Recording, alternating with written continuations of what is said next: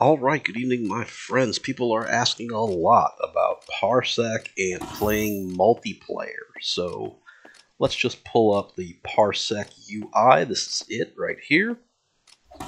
So basically, you pull it up. This is my little gamer tag. Make sure your gamer tags, make sure you know what other people's gamer tags are, so you know who's connecting to you, because you don't want jackoffs trying to connect to your desktop, and they have pretty much full control and all that jazz. So basically you just share your uh, computer basically and it'll copy a link to the clipboard and you just copy that to your friend in Steam or on my Discord. And then they connect and then there'll be a little icon down here that says you know your server and your guests connected.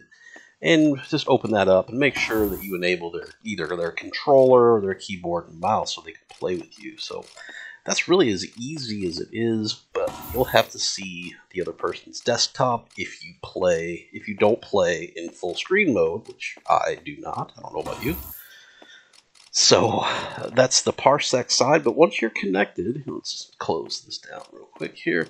You're in the game, and uh, where is my game? Why, there it is. So basically, it doesn't matter what you play. You can play any. You can play opponent even and then you can go, you know, player select, and you just add a player, and then they can choose uh, to play whoever, you know, on either side. So you can go versus, you can go co-op on opponent mode. Those games are only to 10, so just keep that in mind.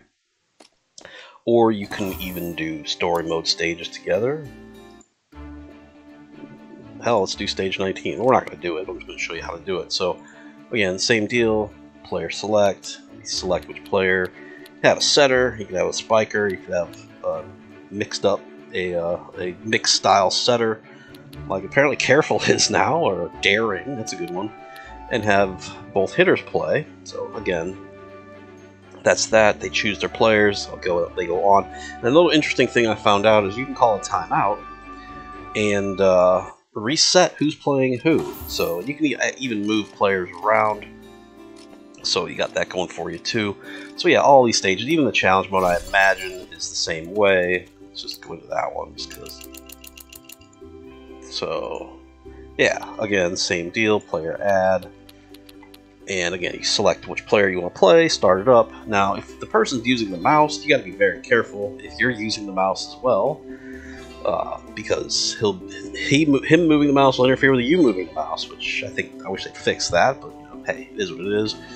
Uh, and that's that. I mean, that's really it. It's very latency. It's low latency compared to the Steam, uh, the Steam mode game share or whatever it's called.